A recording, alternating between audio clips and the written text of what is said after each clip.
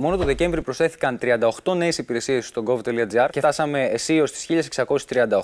Οι 38 υπηρεσίες μπορεί να ακούγονται λίγες σε κάποιους, πρέπει να καταλάβει κανείς όμως ότι είναι παραπάνω από μία την ημέρα. Αυτό σε συνδυασμό με ψηφιακές υπηρεσίες οι οποίες καταργούνται διαμορφώνει ένα τελικό αριθμό. Προφανώς ο στόχος μας, σαν Υπουργείο, είναι να βάλουμε τη χώρα τεχνολογικά πιο μπροστά από τις υπόλοιπες στην Ευρωπαϊκή Ένωση. Γι' αυτό είμαστε και η πρώτη χώρα που υιοθετεί έναν αλγόριθμο Generative AI ο οποίος είναι ικανός να αντιληφθεί συνδυαστικά την πληροφορία από νόμους, κοινές υπουργικές αποφάσεις, από τις διαδικασίες του mitos.gov.gr. Πρακτικά οι πολίτες σήμερα κάνουν χρήση αυτής της τεχνολογίας, έχοντας εξυπηρέτηση αντί να παίρνουν τηλέφωνο σε μια δημόσια υπηρεσία τα ωράρια του δημοσίου. θα μπορούν να εξυπηρετηθούν για όλα τα θέματα, όλες τις ώρες, όλες τις μέρες και σε όλες τις γλώσσες επίσης.